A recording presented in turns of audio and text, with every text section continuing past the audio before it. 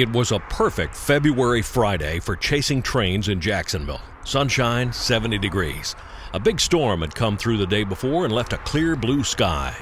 I was getting a late start, and here at Beaver Street Interlocking, the shadows were getting low. We're looking south off the Beaver Street overpass. The yard to the left is TTX, the giant boxcar and intermodal leasing company, their repair yard, once a tiny part of the giant Jacksonville terminal yards. The signals cleared for Amtrak 98, the northbound Silver Meteor. Up it came around the tight curve into Duke's Crossing and the Beaver Street plant. He's running at 25 miles per hour through this complicated interlocking. Then he can speed up for three miles past the Atlantic Coastline Moncrief Yard before his station stop and recrew at the Jax Amtrak station. There's no crossing anymore at Duke's Crossing, but the name sticks because there were two diamonds here for terminal tracks that crossed the ACL main to access the industrial and warehouse customers to the west. The diamonds were removed sometime around 1999.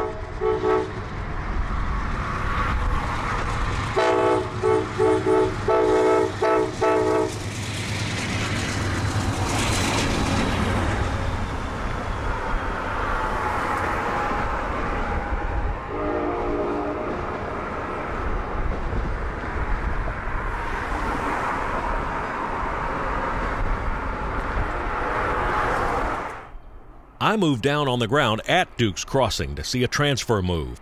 This is a crew up from the Florida East Coast Railway and bringing back a shortcut of container traffic for its Bowden Yard across the Big St. Johns River. The FEC gets traffic from both the CSX and Norfolk Southern.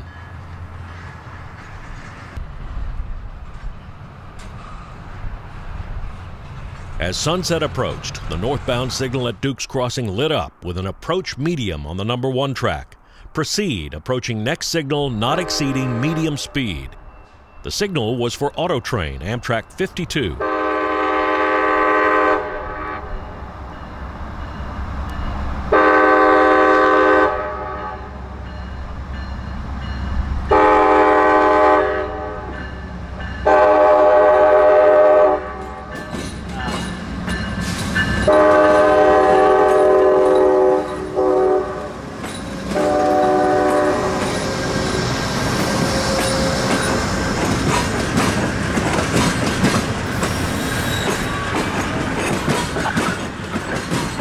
Waved at the passengers on board, wishing I were with them. As passenger trains go, Auto Train is different from them all.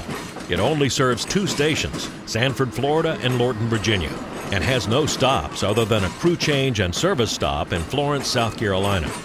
AT is the only Atlantic Coast service that uses Superliner cars, and it's the only passenger train in America that's half freight train, auto racks on the rear. Autotrain is the premium rail fan and catch in North Florida.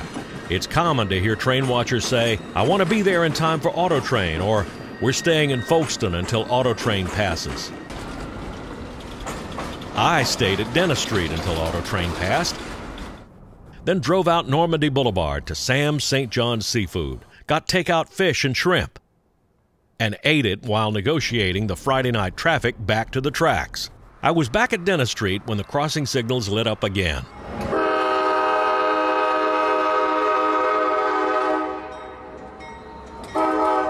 It was Q455, nightly mixed merchandise out of Waycross Yard to Taft Yard, Orlando. I hardly ever shoot trains at night because there's no good light. Sodium pressure streetlights are a terrible artificial red color, and cameras don't know how to handle it. But tonight, the light in this area caught my attention. It was white, almost daylight color. Jacksonville has replaced many of their sodium streetlights with LEDs, brighter and more natural color. If there'd been two more of these lights here, Q456 would have been lit beautifully. What has not changed in this area are the surroundings. It's still industrial and much of it abandoned. I strongly advise against rail fanning the Beaver Street, Dennis Street area at night. So I skedaddled.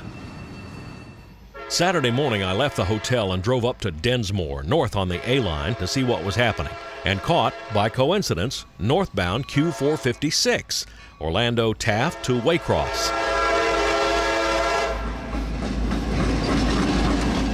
At one time, 456 was a massive freight, regularly 8,000 feet or more. but business has either dropped off or is going into Orlando from the south side on other trains. This morning, 456 is about 4,500 feet.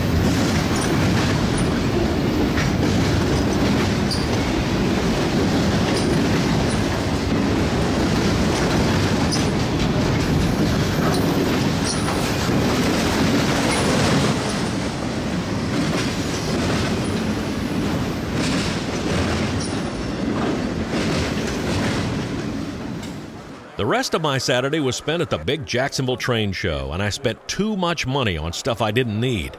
Except this Doug Riddell's brand new book, Auto Train. This is a hardcover work with the story of Auto Train from its beginning to now, and absolutely packed with vintage photos, advertisements, and stories from railroaders who ran it, staff who worked on it, and the people who repaired it. This was the hottest seller at the train show, but you can get a copy on the ACL and SAL Historical Society's website at www.aclsal.org/store. It should be available very soon. I went to Folkston on Sunday and spent most of the day catching up with old friends instead of shooting all the action. I did catch a couple of interesting mixed freights. Around 4 o'clock, this northbound Q652, another monster Tampa to Waycross beast. 220 cars, 13,075 feet. For an even longer Q652, check out last week's video on my YouTube channel and subscribe while you're at it.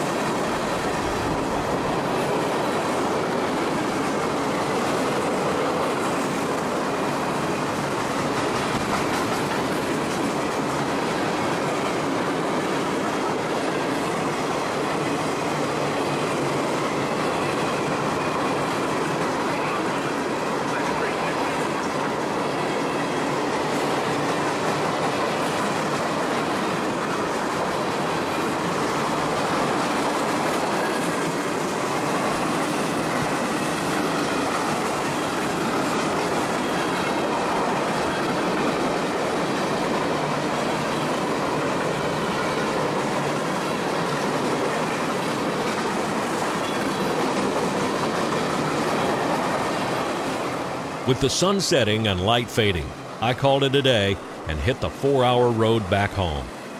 On the Jacksonville Railfan weekend at milepost A602, this is Danny Harmon, out.